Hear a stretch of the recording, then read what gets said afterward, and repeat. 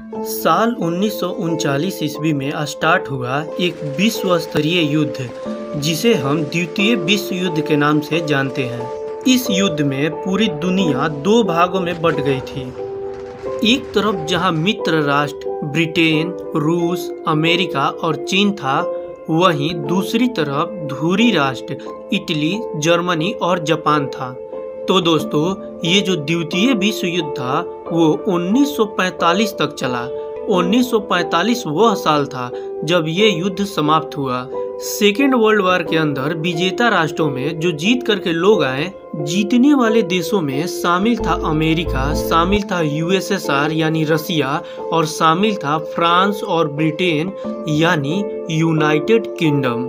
तो दोस्तों, कुंदन गौसिप के इस न्यू वीडियो में फिर से आप सभी का स्वागत है।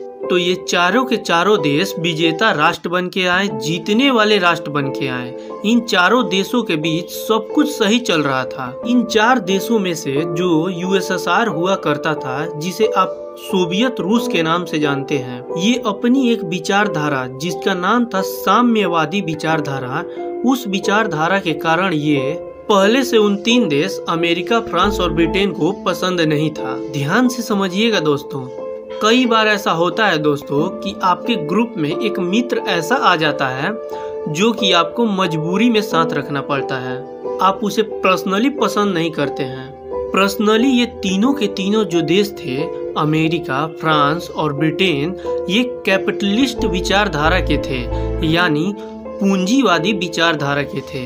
तो यहाँ पर असल में दोस्तों पूंजीवादी वर्सेस साम्यवादी जीतने वाले देशों के बीच में ही आपसी टसल थी इस बात को लेकर। इस टसल में अमेरिका अपने आप को सबसे बड़ा देश सिद्ध कर चुका था। ज़ाहिर सी बात है, आपके मन में एक सवाल उठ रहा होगा कि आखिर कैसे?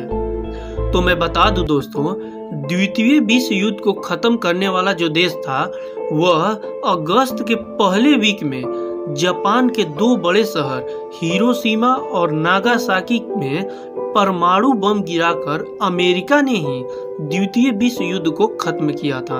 आपको बता दूँ 6 अगस्त 1945 की सुबह, करीब 8 से 9 बजे के बीच में अमेरिकी वायुसेना ने जापान के हिरोशिमा नामक शहर पे दुनिया का पहला परमाणु बम जिसका नाम लिटिल बॉय था वो गिराया था ago, an American airplane dropped one bomb on Hiroshima and destroyed its usefulness to the enemy.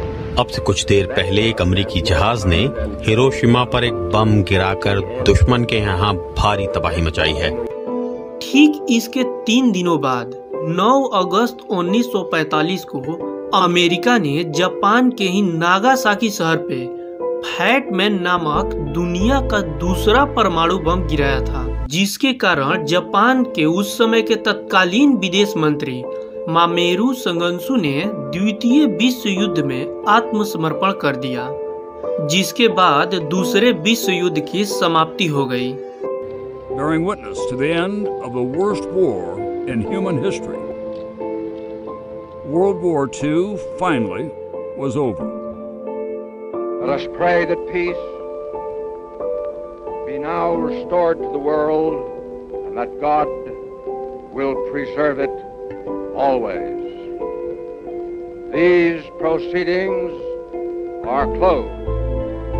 At that moment, as if on cue, the sun came out, and as the Japanese departed, a stunning aerial display.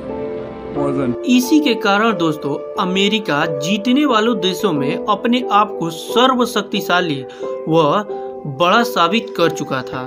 उस समय दुनिया को नहीं पता था कि America के पास इतने घातक हथियार भी हैं। यहाँ पर दोस्तों, इन चारों देशों ने मिलकर सेकेंड वर्ल्ड वॉर में जर्मनी, जापान, इटली इन्हें संयुक्त रूप से हराने की कोशिशें की थी। लेकिन अचानक एक देश अचानक सबसे आगे निकल गया और पूरे विश्व युद्ध को समाप्त करवा दिया। ऐसी स्थिति में आप समझ रहे होंगे दोस्तों, यूएसएसआर और अमेरिका के बीच में ईगो का क्राइसिस हो गया। आत्मसम्मान की बात आ गई। आपसी लड़ाई ये हो गई कि हम में से बड़ा कौन? दोस्तों, इस बड़े कौन की लड़ाई के अंदर जो यूएसएसआर था, इस यूएसएसआर ने यूएसए को अपना दुश्मन मान लिया। इसने हमारे साथ धोखा किया है, बिना बताए इसने परमाणु बम बना लिया। यूएसएसआर का कहना था, जब साथ में थे, तब हमें बताना चाहिए था। ऐसी स्थिति में दोस्तों, अमेरिका और यूएसएसआर अपनी अपनी राह पकड़कर आगे निकल लिए, और लड़ाई का सबसे बड़ा कारण था दोनों में बड़ा कौन। इस बड़े कौन की लड़ाई में यूएसए और यूएसएसआर जीतने के बाद भी एक दूसरे के दुश्मन बन बैठे। और यह दुश्मनी शुरू हुई 1945 से और 1945 से दुनिया ने एक नई लड़ाई देखी। और इस नई लड़ाई के अंदर युद्ध बम गोले तो कहीं नहीं चलाए गए, लेकिन बम गोलों के स्थान पर इन दोनों ने दुनिया के विभिन्न देशों में आपस में अपने अपने लोगों को लड़वाया और अपने अपने लोगों को लड़वाने के इसी हुनर को शीत युद्ध नाम दिया गया। दोस्तों शीत युद्ध नाम दिया गया। असल में जो यहाँ से आगे जो होने वाली लड़ाई थी, जो 1945 से शुरू हुई थी, ये लड़ाई अब इस बात की थी कि दुनिया में किसके समर्थन में सबसे ज़्यादा देश साथ खड़े होते हैं। ज़्यादा देश खड़े करने के लिए अमेरिका ने अपने जैसे देशों का आवाहन किया, जो पूंजीवाद में विश्वास रखते हैं, वो एक हो जाए, उनकी सुरक्षा की गारंटी मैं देता हूँ। ये अमेरिका का कहना था और सुरक्षा की गारंटी देने के लिए अमेरिका ने एक टर्म का निर्माण किया। इसका नाम था दोस्तों, NATO. NATO, North Atlantic Treaty Organisation, जिसका निर्माण 4 अप्रैल उन्नीस सौ उनचास को अमेरिका के वाशिंगटन शहर में हुआ था जिस The Pentagon in Washington, the North Atlantic Defense Committee, composed of the 12 Atlantic Pact nations, meets for the first time. U.S. Defense Secretary Johnson is named chairman. इसका मुख्यालय बेल्जियम के ब्रुसेल्स शहर में स्थित है आपको बता दूँ अमेरिका द्वारा इस ऑर्गेनाइजेशन में एक कस्में खाई गई थी कि यदि किसी ने भी हमारे चाहने वालों पर अगर हमला किया, वह अमेरिका पर हमला माना जाएगा। और अमेरिका पर हमले का मतलब है परमाणु बम से पीड़ित होने के लिए तैयार हो जाना। ये अमेरिका का कहना था। शुरुआती दौर पर तो इस संगठन नाटो में केवल तीन से चार देश थे।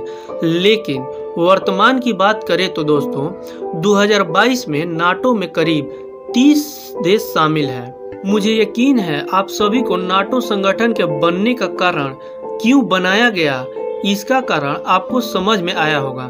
तो अब अलविदा दोस्तों, मिलते हैं अपने अगले वीडियो में।